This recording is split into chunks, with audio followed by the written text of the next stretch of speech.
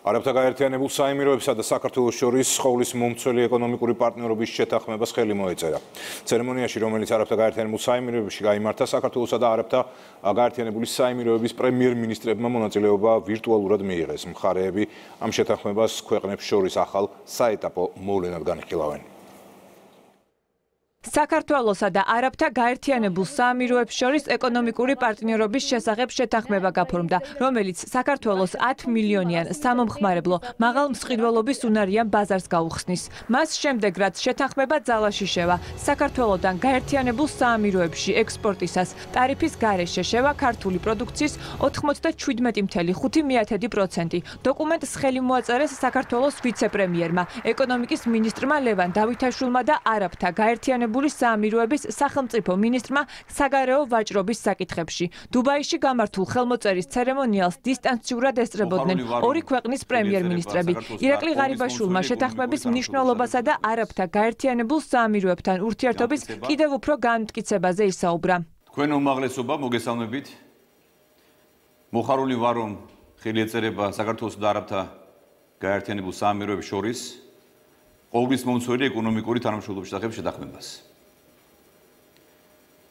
ეს შეთანხმება ტკიცე საფუძველს უყრის ჩვენს ორ ქვეყანას შორის უფრო მყარი და კონსოლიდირებული სავაჭრო ეკონომიკური ურთიერთობების განვითარებას.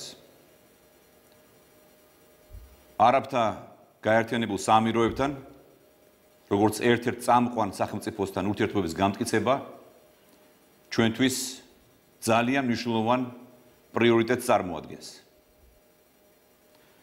არაბთა გაერთიანების საამიროები ყოველთვის იდგა ინოვაციისა და პროგრესის სათავეებთან, რაც მომავლის იმედისა და ოპტიმიზმის მნიშვნელოვანი საწინდარია. მე მინდა განსაკუთრებული მადლობა გადავუხადო არაბთა გაერთიანებული საამიროების პრეზიდენტს მის უმაღლესობას შეიხ მოჰამედ ბინ ზაიედ ალ-ნაჰიანს იმ ფასდაუდებელი წვრილისთვის, რაც მან შეიტანა ჩვენს ქვეყნებს შორის თანამშრომლობის განვითარებაში.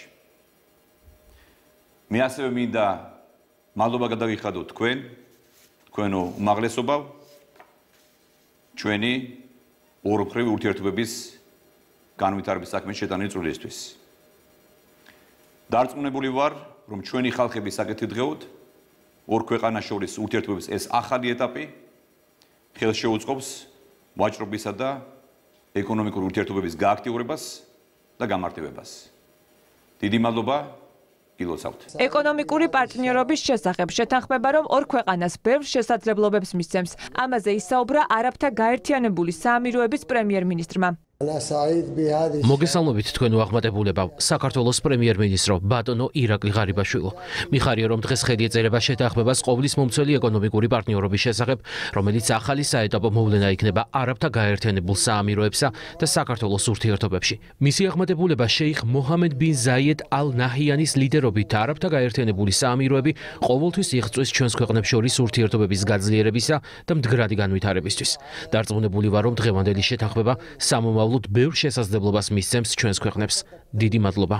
საქართველოს ეკონომიკის მინისტრმა ყურადღება გაამახვილა მოლაპარაკებების იმ ეტაპებზე, რომელიც მხარეებს შორის შეთანხმების გაფორმებამდე მიმდინარეობდა.